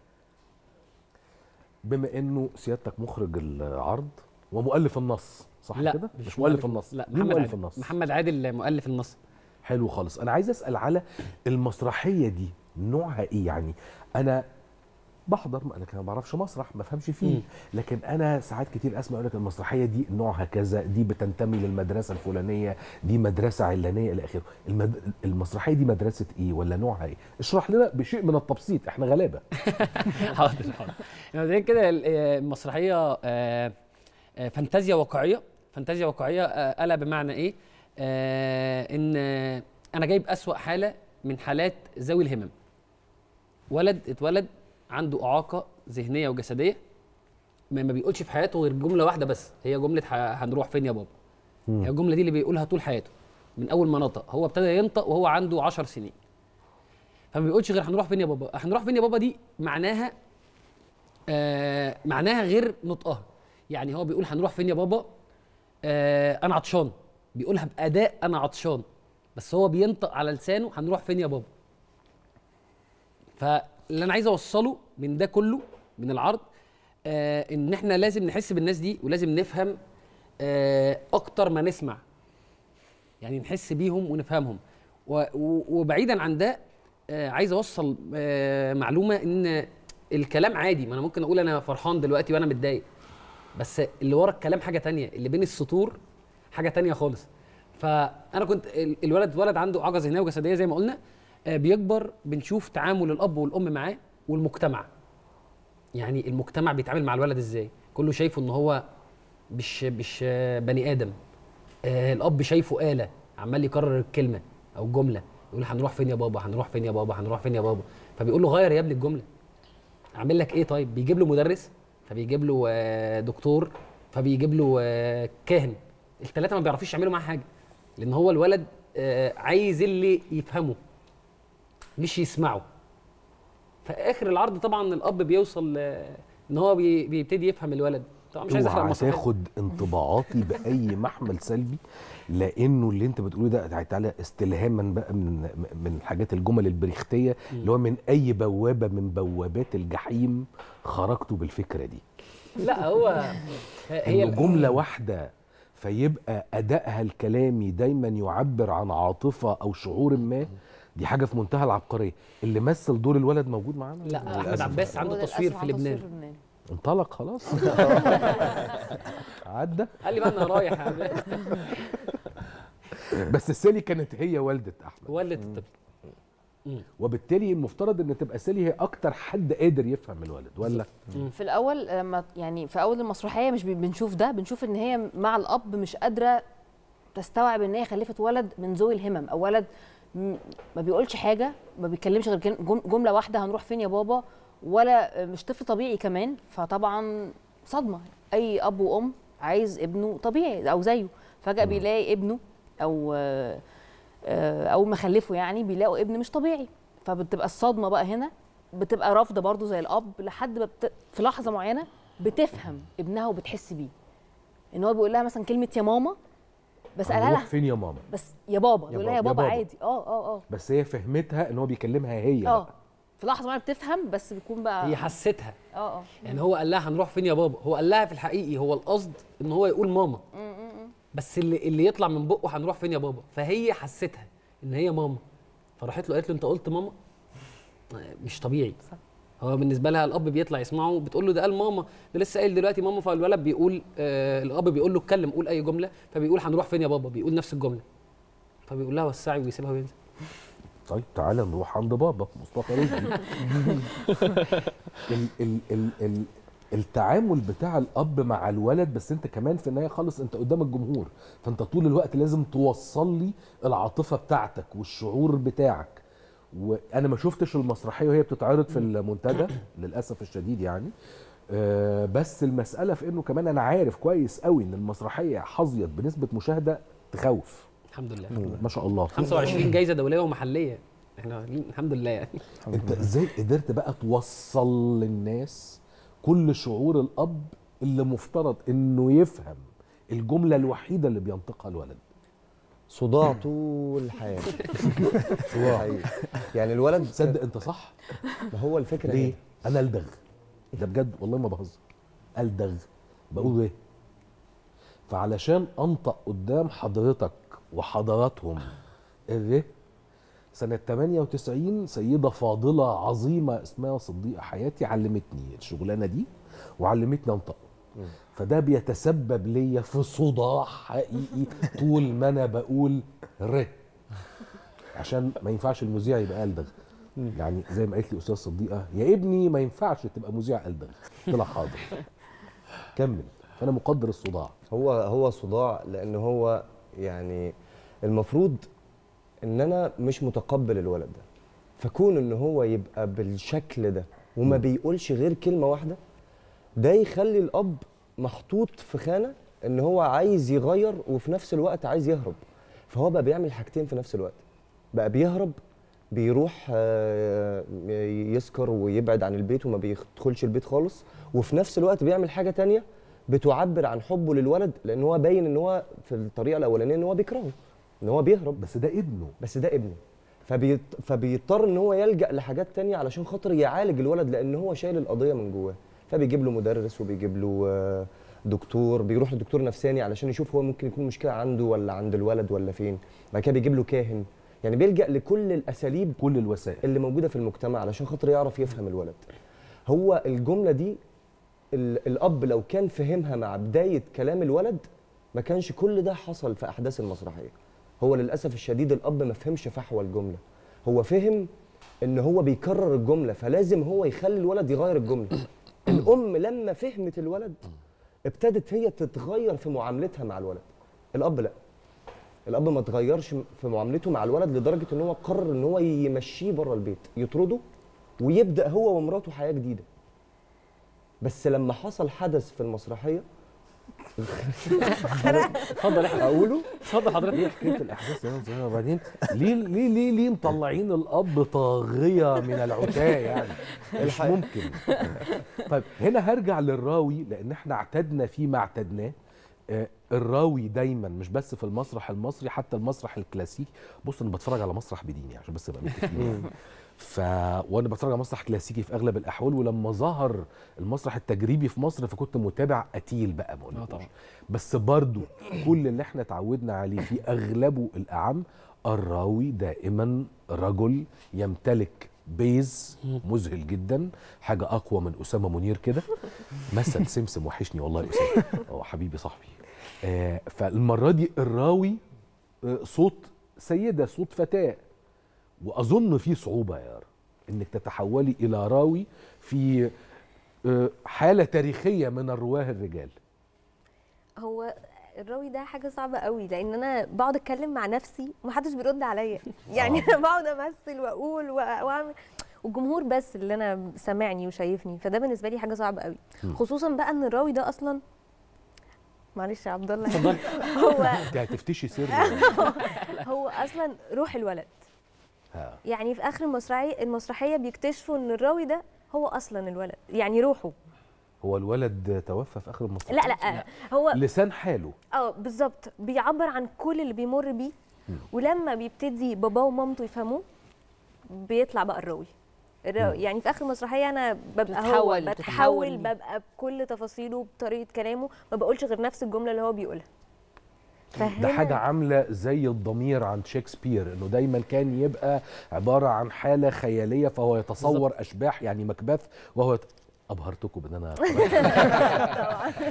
طبعا. جامد قوي فدايما كان في أشباح بتطارد مكبث هي الضمير بتاعه طول الوقت. فانت المرة دي كنت روحه. داخل الولد. آه روحه اللي. اللي الناس المفروض تحس بيها وتفهمها. فانت كنت روح الولد. طيب الراوي طبعا لازم يمتلك مهارات حكي مخيفة. لازم تبقى ستوري تيلر وفي نفس الوقت أنت كمان عندك مناطق مختلفة من الأداء. وما حلتكش غير صوتك. ده كان تدريب ولا ده دراسة؟ يعني تدريب للمسرحية بالمخ... بالمخصوص كده ولا هي دراسة؟ لا آه، مسرحية. للمسرحية. آه المسرحية. أنا أنا أصلا ما كنتش عارف الراوي ده بيعمل إيه. لحد. ما- دخلت المسرحية وفهمت كل حاجة بيعملوها وإزاي الموضوع صعب وإزاي إن هو يعني موضوع صعب قوي إن أنت بتمثل مع الجمهور ومحدش بيرد عليك وشايف المشهد ونفسك تدخل. تعمل معاهم مشهد عايز أطلع. لأ ما. طلعتيش خالص. مخبيينك طول الوقت؟ لأ لأ طالعة بس لوحدي. بس لوحدي؟ أه. okay مش بت... مش بتقومي بحاجة معاهم هم؟ في آخر استنى عشان المسرحية. انت ديكتاتور واضح. هو عايز عايز ألحقها والله. هو أنا خايفني خايفة أقول العرض باين نموذج للمخرج المسيطر. لا، آه. مفيش خالص كده. يعني أكثر سطوة من يوسف شاهين الله يرحمه. طب أنا هنا عايز أروح لأحمد أحمد حسني صاحب الصوت الذهبي والموسيقى الرائعة. ده بجد بأمانة شديد. في حاجتين أنا ملاحظهم حتى يعني وأنا بسمع التراك من العرض نفسه وأنا بسمعك دلوقتي هي فكرة إن الصوت معبر جدا. بس كمان مسألة التأليف الموسيقي لمسرحية بتحمل كل الصعوبات دي ده حمل ابن لذينة. طيب الله. أنتوا حاجة تفرح. بصوا أنا هنروح لفاصل. الفاصل ده بالنسبة لي كسر قلبي لأن أنا كنت عايز أكمل مناقشة دون أن يحدث فيها أي فصل على على مدار على مدار الحلقة. بس الأمر لا من قبل ومن بعد ربنا يكتر الإعلانات. فاصل ونرجع نكمل الكلام.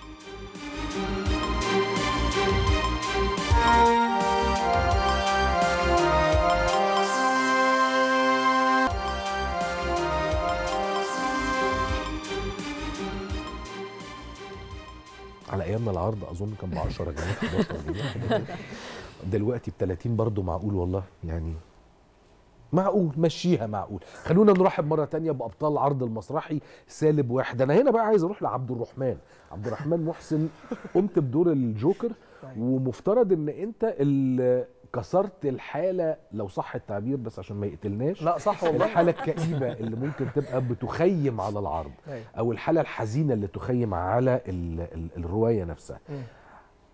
عملت كده إزاي من غير ما ما تبوظ الرواية أو تبوظ الحالة لو صح التعبير يعني. هو حضرتك أنا عبد الله لما كلمني على العرض كلمني كان تقريبا هيعرض بعد ثلاث أيام. فهمت إن ده مدرس آه، مدرس جاي يعالج ولد ما بيقولش غير هنروح فين يا بابا آه يا بابا؟ آه بابا. ما بيروحش- ما بيقولش غير هنروح فين يا بابا؟ فهو بقى حضرتك شايف الصداع اللي كان مصطفى بيقوله ده؟ اللي هو الصداع اللي هو على مر ال 15 سنة اللي الولد عاشهم؟ آه. هو بقى المدرس ده عاشهم في سبع دقائق مثلا. جه ما استحملش الولد لقى سبع دقائق بيقول أروح فين يا بابا؟ فاتخنق منه جدا وقرر بقى إن هو يمشي وبتاع. وبعد كده راح لدكتور نفساني عشان يشتكي له يقول له آه، أنا عايز أشتكي لك إن أنا ابني ما بيقولش غير جملة واحدة. فلقى الدكتور متوه وبيقول له نكت وبيقول له عن وبيقول له حاجات غريبة كده بتاع آه بيقول له حاجات غريبة مالهاش أي علاقة بالموضوع. فللأسف كان بيبقى لود عليه هو. وبعد كده بقى بيفكر يجيب له دجال مثل يعني اعمل لي مثل لايف كده. إيه؟ لا يعني مثلا هو الدكتور كان بيعالجه بالضحك. يعني هو الدكتور بيقول له اسمعني فبيقول له أيوه أنا بعالجك بالضحك. فبيقول له يعني إيه بتعالجني بالضحك؟ بيقول له يعني مثلا آه، هقول لك نكتة. أنا عايز الأداء. يعني إحنا بادئين المشهد. لا خالص والله مش هاكل حضرتك. بقول لك إيه ولا سيبك من حضرتك ولا بتاع. لا هقلع الجاكيت واقعد معاك على الأرض. بجد حقيقة أنا عايز أشوف الأداء مش علشان يلا بينا هنضحك صدقني. أنا فاهم. أنا عايز أشوف الأداء لأن أنا عايز عايز أفهم ما أنا برضه يعني حط نفسك مكاني. أنا فاهم. هو حضرتك ال- ال- الإفيهات بتاعته. آه، لا لا فاهم والله. والله طب يلا والله طب هو الإفيهات بتاعته كلها موقف. يعني هي بتتشاف في الموقف أكتر ما منها افيه لفظي أو حاجة. يعني أنا نفسي. حضرتك يعني هو بادئ إن أنا بقول لأ بقول له يعني بقول له مشكلتي وقاعد عنده منهار وبقول أنتوا له قلقانين منه عشان العرض ما يتحرقش لا والله. والله ما أنا أنا قادر أتفهم جدا إن هو موقف وبالتالي طب ما هو أنا عندي الأب وعندي الدكتور يعني ربع مشهد. حضرتك. لازم تنورنا. والله. بودي انت عامل لهم عمل ولا انت لا والله بص أنا مش مش مش عايز لا خالص والله أنا مش بس يعني يعني اديله حتة. حتة يعني أهو بص هو حضرتك بيروح للدكتور. فهو بيقول له يا دكتور أنا ابني. ومراتي ومش عارف أعمل إيه أقول أقول لك عليه ماشي مثلا. يعني بس يا دكتور فأنا ما بقتش عارف أتصرف إزاي بصراحة. لا بقيت عارف أتصرف مع الولد ولا مع مراتي. حتى ال... أنت لسه قاعد؟ طب استنى أقول لك نكتة. بيقول لك مرة فطاطري اتخانق مع مراته قال لها انت بتزعقي ليه توتي توتي. فهو حضرتك بقى أيوه. بالظبط. حضرتك قلت لك لازم تنورنا والله. فهو بقى بي- بيقرر الدكتور إن هو يعالجه بالضحك وهنا بقى الضحك إن مفيش ضحك أصلا. يعني الضحك إن هو الدكتور بيعالجه بحاجات المفروض إن هي بتضحك وهي ما بتضحكش. بس هي ما بتضحكش خالص. بتضحك شخصية الجمهور تالتة، هو- شخصية آه، ما تالتة. بتضحكش البشر العاديين آه. لأنها في غير موضعها طول الوقت. بالظبط أيوه. وبعد كده بيجيب له أنا بقى بتعصب عليه بعدها وبقول له بقى نص ساعة بحكي لك قصة حياتي وأنت بتعالجني بالضحك. وبيحصل ما بيننا خناقة كبيرة جدا يعني. في الآخر بكتشف ان أنا جيت غلط لأن أنا هو اختيارات الاب للاسف الشديد في الناس اللي هو بيجيبهم من الولد كلهم غلط. يعني لا المدرس عارف يوصل ويفهم حالة الولد ولا. الدكتور أصلا واعي ولا حتى الكاهن يعني كان بيطلع نصاب وهو أصلا مش كده. فهي دي المشكلة يعني. مصطفى؟ هادي. دكتور دكتور يعني. كان دورك آه، دكتور في العرض. بالظبط. طيب والدكتور في العرض مفترض إن هو بيعالج هنا الولد. وهو المنطق. وهو المنطق. مم. دي قاعدة شخص منطقي لا لا كمل كمل كمل. بس يعني أنا هو المشهد اللي أنا بطلع فيه بعد الولادة المفروض إن أنا ولدت الطفل. ففكرة إن أنا هصدم الأب آه، من ال- الحالة الطبية اللي الولد فيها وهو واقف فرحان ومستني الولد زي أي أب ينزل وبتاع. فأنا انسانيا لازم أروح أقول له إيه اللي مكتوب في التقرير؟ إن ابن حضرتك اتولد عنده إعاقة ذهنية وإعاقة جسدية و ففكره إن أنا أخش أقولها له كانت دي كانت دي كانت صعبة بالنسبة لي. هقولها له إزاي؟ هصدمه هقولها له إزاي؟ في المشهد اللي بعد كده آه بنوصل المخرج بيبقى عايز يوصل رساله العرض. في ان دي آه، نعمة كبيرة من عند ربنا. نعمة كبيرة جدا. وقد إيه انت أم عظيمة. وأنت كمان أب عظيم. الولد ما فيهوش أي حاجة خالص. بالعكس الولد كويس ومبسوط وطلباته مجابة وأحلامه سهلة وبسيطة. ما فيهاش عقد زي أحلامنا والحاجات دي كلها. و أنا أنا بقول حاجة تانية. قدرت قدرت قدرت لا صحيح. قدرت تعمل ال- الحكاية دي إزاي من غير ما تحولها إلى موعظة مباشرة جامدة باردة إلى آخره؟ يعني قدرت توصلها إزاي؟ بحيث إن أنا كمشاهد أبقى قاعد بسمعك والمنطق بتاعك حاضر عندي طول الوقت بس كمان أبقى أنا من جوايا عايز أكمل سمع مش عايز أبقى بشعر إنه في جدار فاصل ما بيني وما بينك. كأنك واعظ يلقي علينا بالموعظة افعل كذا ولا تفعل كذا. آه، حطيت نفسي للحظة آه، ماذا لو أنا مشاهد آه، للمشهد ده؟ لو أنا لو أنا واحد من الجمهور وعايز أسمع الكلام ده وعايز أصدقه. وعايز أحس بيه. طبعا موضوع ما يعني أنا مش عايز أقول إن هو كان صعب بس هو كان موضوع إنك تحس أكتر الكلام تفهم منطقه وعايز يقول إيه وعايز يروح فين. وهل آه، المثقف هيفهمه وال- وال- والغير مثقف أنا عايز الاثنين يفهم الموضوع انسانيا. مش ملوش علاقة بالتلقين أكتر ما هو ليه علاقة بإن أنا أوصل له إحساسي فيه إيه. يعني لدرجة إن أنا كنت عايز أمثل أكتر يعني أودي الموضوع أكتر من إن هي موعظة وبالعكس. بالعكس. يا جماعة اللي أنتوا فيه ده نعمة كبيرة قوي من عند ربنا. آه ما تزعل. يعني الموضوع مش محتاج بالعكس زعل. أعتقد هو حتى بيقول لو أنتوا عندكم أزمة إن الولد عنده أزمة فالولد زي ما قلنا يا جماعة وبخاطب الناس ما عندوش أي أزمات خالص. أعتقد إن الأزمة الحقيقية عندكم أنتوا من الاثنين ساعتها الجمهور بيقرر يسقف مش للكلام للمنطق. صح. مش ليا. 100% للكلام اللي اللي مكتوب. طب عبد الله ال- ال- العرض برضو واضح إن هو مليان عناصر يعني مزيكا أداء حركي مش قادر أسميه إنه أداء راقص لأنه كان أداء حركي بيعبر عن شيء ما. زائد الأداءات المختلفة يعني ما بين راوي وما بين أم مش عارفة تتواصل مع ابنها لحد ما تصل إلى درجة التواصل. الدكتور اللي عاوز يحكم المنطق دون أن يكون الأداء أداء واعظ مثالي الشخص اللي بيضحكنا طول الوقت في المسرحية لكن في نفس الوقت مش بيحولها إلى حالة من حالات الابتذال وأظنها صعبة عليه وصعبة عليك فكون إنه يوصل ده فحقيقي دي موهبة مذهلة. الأب اللي طول الوقت مشاعره بتتضارب ما بين ده ابني اللي أنا بحبه وخايف على مصالحه وفي نفس الوقت أنا تعبت فأنا هتركه وأبعده وأنبذه بره البيت خالص. كل ده حمل حقيقي يعني خليني أبقى يعني أقول لك كل التحية بصراحة بس الحمل ده اتعاملت معاه إزاي؟ وفي نفس الوقت صعوبات أنت بتواجهها طول الوقت من أول الراوي لحد الأب لحد التأليف الموسيقي اللي أنت عايزه طول الوقت يعبر عن ال- ال- المشاعر المختلفة. يعني زي ما قلت لي حتى وإحنا في الفصل الولد بتحصل له رعشة يبقى لازم الكمانجة ترتعش معاه. عشان كده عملتوها لايف ما هياش مجرد تراك يتسجل ويتلعب واستسهلنا الموضوع كله ان إن إحنا عندنا ميزة يعني إحنا إحنا تعبنا قعدنا فترة قعدنا سنة عشان نطلع العرض ده. طبعا أحمد عباس إيه، يمكن هم عارفين إن هو أكبر مجهود في العرض اتعمل كان هو لأن بطل العرض الأساسي واللي الاحداث بتدور حواليه ما بيقولش غير جملة واحدة. وعنده إعاقة بيعمل. طول العرض ماسك بقى قاعد عمال ما وصل للإعاقة دي وصل وصلنا لدرجة كبيرة قوي لدرجة إن هو في مرة من المرات آه، في ضلع من ظهره اتخلع. اتخلع بسبب الدور. آه ضلع من ظهره. ضلع. إيده من إيده. هنا. يعني هو كتفه اتخلع كده، كمان آه من عند من عند لأنه دايما واخد position عود واخد position معين بدراعه. ف فعاد علاج طبيعي بقى قعد شوية علاج طبيعي يعني. آه ف أحمد عباس تعب جدا عشان يطلع الدور ده. آه ده بصراحة جدا. آه واجهنا صعوبات كتير جدا جدا جدا. هو يمكن آه، كان بيتخفى علينا الحمل شوية آه، لما بنطلع على المسرح ونسمع صوت السوكسي أو نطلع. ده كان المكافاه الكبيره بالنسبة لنا. يمكن لسه من شوية كنا شايفين جانب من حالة ال ال ال ال التزاحم آه أو طبعاً، التدافع طبعا. على الناس تخش عايزة تحضر العرض. طبعا.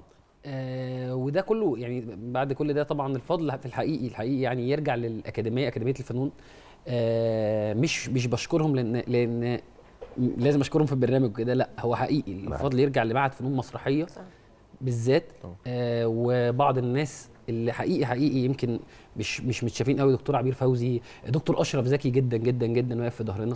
آه أستاذ شادي سرور مثلا من الناس اللي وقفت في ظهرنا عشان نعرض في الهناجر. آه، ودكتور مدحت الكاشف و- ودكتورة غادة جبارة ودكتورة ايناس عبد الدايم وزيرة الثقافة دعمتنا بشكل مش طبيعي خالص. آه، قعدنا قعدنا فترة طويلة جدا فعلا مجهود والحمد لله بفضل الله الكاست آه، كله الناس جميلة جدا. يعني أنا ربنا مر... يعني أنا أخرجت في حياتي 15 16 عرض مثلا. أول مرة عندك كام سنة؟ تديني كام سنة؟ 25 لا 26 بالظبط. عشان حرق أنا كده بس. أخرجت في حياتي يعني عدد بسيط. تواضع آه، فلا أول مرة في حياتي بجد حتى اشتغلت مسرح كتير كممثل أول مرة في حياتي أشوف كاست روحه جميلة مع بعض بيذاكروا مع بعض بيطلعوا شغل مع بعض آه، بنقف جنب بعض بنخرج مع بعض خلاص بقينا أصحاب فبنطلع العرض وإحنا مبسوطين. أيوه. حقيقي. هو اللي اتعمل فعلا اللي اتعمل اللي أي حد كان بيخش فعلا العرض سواء حتى الموظفين بتوع ال- الهن- بتوع المسرح ما بيتعاملش غير انسانيا. يعني مثلا آه، دور الأب دور الأم ماذا لو أنا أم؟ مش ال character بتاع الأم آه، تمثيلا هيبقى عامل إزاي؟ أكتر ما أنا مش محتاج غير إن أنا أبقى أم. أو إن هو يبقى أب. حتى الموظف ذات نفسه بي- بيبقى حاسس إن كل ده عمل خيري مجمع إحنا بنعمله انسانيا وهيطلع انسانيا. ده حصل بصراحة بالظبط. أكتر من كونها لعبة فنية. ومش قصدي أي حاجة بس إحنا شكلنا صغير. فلما كنا بنخش في مهرجانات أو حاجة فبيقولوا العيال دي هتعمل أي حاجة وهتمشي. بجد ده حقيقي. بس إحنا مين اللي كان بيقول كده؟ ده ناس كتير آه، جدا. يا هم- لهوي. هم. كتير قوي هم. هم. بجد. لا لا بجد بجد حقيقي. كان في حاجات كتير قوي بيشوفونا عيال صغيرين. بمجرد ما بيشوفوا أحمد عباس طلع في بداية العرض ابتدت الاعاقه تمسك جسمه بيبتدوا يطلعوا موبايلاتهم من الكواليس ويصوروا. يصور. الناس ابتدت تصور. يعني أنا فاكر في منتدى شباب العالم مثلا. صناعية. بيبوظوا لك العرض دي. لا الصناعيه فعلا والله والله. واقفين من ورا الستات. الصناعيه اللي هم ال backstage العمال بتوعنا عمالين. يعملوا كده و... يعني أنا لا. ببقى لافف من ورا الكالوس مثلا عشان خلصت. أنا أكتر واحد بيبقى قاعد بره مستنيهم. بجد شايف الناس في حالة انبهار و زعلانين حضرتك فاهم قصدي زعلانين. لا الواد خلي الواد ينطق. أنا اخر آخر ليلة في الهناجر. خلاص بقى في تفاعل. أيوة. أيوه حصل. آخر ليلة في, في الهناجر آخر ليلة اللي عملناها اللي فاتت أنا قاعد في الكابينة عادي في كابينة الإضاءة ومشغلين اضاءه فجأة لقيتهم بيسندوا حد وبيدخلوه بيعيط مش قادر يمسك. قلت لهم يا جماعة من المستشفى. دخلوا بجد الناس الموضوع يعني مثلا لو دور عبد الرحمن محسن مش موجود في النص. جربت كده قلت مش موجود ونشيل كده الدور ونعرض من غير الدور ده ونشوف الحالة التراجيدي هتوصل للناس إزاي. فجبت ناس تتفرج على general. فال general اللي الناس جت اتفرجت عليه طالعين اعصابهم بتترعش. فكان لازم أحط دور عبد الرحمن محسن يفصل. علشان خاطر يفصل الناس. الدور يعني خلاص عملنا مشهد تراجيدي اللي هو مثلا الأب بيخنق فيه الولد عشان خلاص بيقول له خلاص اسكت بيموته. مش بيخنقوا عشان يقتلوا لا. يعني هو عشان ما يبقاش غلط. لا لا هو بيخنقه بيخنقه علشان بص طول الوقت صوت المنطق مش علشان يقتل لا لا هو طيب، بيخنقه في مرة الأب. فاهمك. الأب بيبقى سكران فبيخش هو مش بياخد باله إن هو خانق الواد هو فاكره بيسكته فاكر نفسه بيسكته. فالمشهد ده بيوصل لمرحلة إن الناس بتبتدي خلاص تنهار فلازم أفصل بعديه على طول بمشهد كوميدي. لازم أفك هو الناس. العرض إنتاج الأكاديمية ولا إنتاج إنتاج أكاديمية ال- الفنون. المعهد العالي للفنون المسرحية. طب والعرض اتعمل له تصوير تلفزيوني بحيث إنه يبقى قابل للعرض على التلفزيونات؟ هو لا هو اتصور في المنتدى منتدى شباب العالم. طبعا إحنا في منتدى شباب العالم كنا شايلين نص ساعة من العرض مثلا. عشان خاطر التايم ملتزمين بوقت طيب. معين. ملتزمين بوقت معين.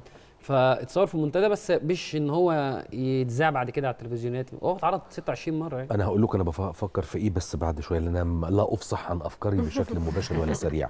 طيب هو العرض اللي جاي يعني حددته هيتعرض فين ولا لسه؟ لا وإحنا حتى الآن آه إحنا لسه وفي آه لسه أخبار كده هو يعني بس مش عايزين نقول عشان بره مصر. يعني بره مصر. بره مصر لا مش جوه مصر بره مصر بإذن الله. ف... أوروبا ولا منطقة عربية؟ عربية. آه لا منطقة عربية. أوكي. وبنسعى لأوروبا بقى. لو جت يعني آه يا أوروبيين لو شايفين أوروبا مهم. أيوه طبعا. بس هقول لك أنا بقى بفكر في إيه يعني. اللي أنا بفكر فيه وده طلب أو تمني أو مناشدة إنه العرض ده تتبناه الشركة المتحدة. يعني ده عرض يتصور بقى بكامله بدل ما يتم الاختصار النص ساعة يتصور كله بكامله ويبقى موجود عندنا على واتشت ويبقى موجود عندنا على شاشات التلفزيون التابعة للمتحدة. ده يبقى أكتر من رائع. أتمنى ذلك أتمنى. ده مجرد أمنية عند مواطن بيحب يتفرج على المسرح لأن أنا بقول الكلام ده ولسه المتحدة كانت بتعلن بروتوكول التعاون مع الأستاذ محمد صبحي. فاحب إنه كمان نقدر نتعاون مع الأكاديمية ونتعاون مع أبطال عرض سالب واحد لأنه العرض حلو حلو. أنا يعني أنا واثق في إن المتحدة دايما بتعمل حاجات عشان خاطر طول الوقت نملى أدمغة المصريين بحاجة حلوة وجميلة. إحنا أولى. صح. مش إحنا أولى بيكم ولا صح. إيه؟ لا صح طبعا. بعد صح. كده بقى تطلعوا تعرضوا في باريس وتعرضوا في مدريد وتعرضوا في لندن وتبقى حاجة مزاج المزاج. ما عنديش أي مشكلة بالعكس أبقى سعيد إن أنا أشوف. هو انت ناوية تكملي مذيعة ولا تمثلي يا سيدي بالمناسبه برضه. الاثنين مع بعض. الاثنين بيقولوا صاحب بالين كداب. آم، أنا بحب الراديو جدا. أنا شغالة في الراديو بقالي 10 سنين آه. في 90 90 ف أنا بقالي فخورة- 20 إيه؟ بقالي 20 سنة. الله أكبر الله أكبر. السن السن السن عمال بيجري. الله أكبر. ف فحقيقي لا يعني شغلة الراديو ليها متعة. والتمثيل أنا بدأت أمثل مثلا بقالي يعني أربع سنين. أوكي. والتمثيل عايز طولة بال شوية. يعني أنت عايز بقى تقعد تتعلم كتير وتمارس مسرح كتير آه، وتمارس تمثيل قدام الكاميرا كتير. لأن ده هو اللي بيتقل الممثل كمان. المم... تمثيل المسرح كمان بيتقل الممثل. طبعا طبعا. طبعا. فأنا يهمني الممارسة أكتر. ده بشكل شدي كبير. حيلك أشجعك جدا. لا. عبد الرحمن ناوي تحبس نفسك في الكوميدي ولا؟ لا والله ما بحبش. فلفص. لا لا لا لا خالص خالص والله. يعني عارف مرة أنا كان ليا حظ أنا أنا وأنا هقول لكم الجملة دي و... ويبقى الكلام آخر آخر كلام معانا يعني. كان ليا حظ جيد جدا جدا جدا جدا إن أنا قابلت سعد الدين أردش. حاجة مفيش بعد كده يعني. ربنا يرحمه. وبعدين كنا بنتكلم على ممثلين هو كان معجب بيهم. فقال لي نصا على رحمة الله عليه برضو يونس شلبي مع حفظ الألقاب. ربنا يرحمه. قال لي واحد من أنبغ طلبة المعهد.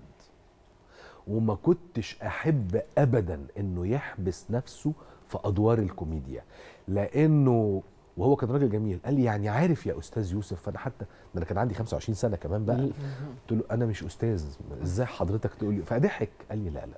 اسمع بس.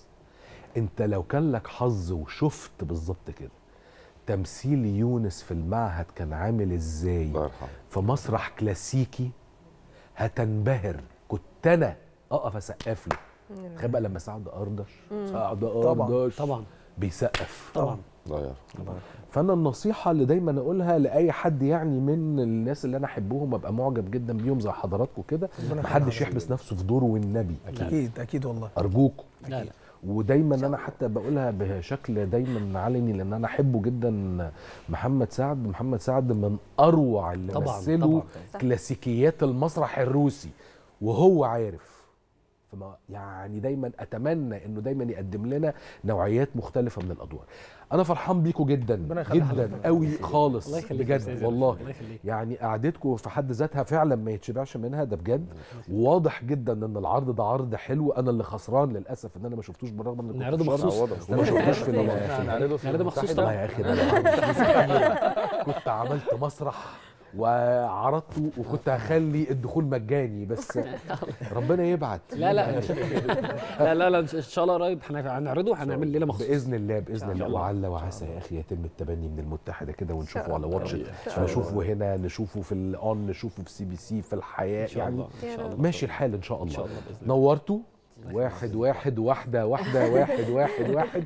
كل الشكر ليكوا ويا رب يا رب دايما اشوفكم في أعلى المراتب المسرحية وما يبقوش 25 جايزة 250 جايزة. إن شاء الله قولوا. إن شاء إن شاء الله. شكرا ليكم. لو كان لنا العمر نتقابل بكرة إن شاء الله وبرنامجكم التاسعه كريم رمزي زمانه داخل علينا ورقم عشرة. سلامات.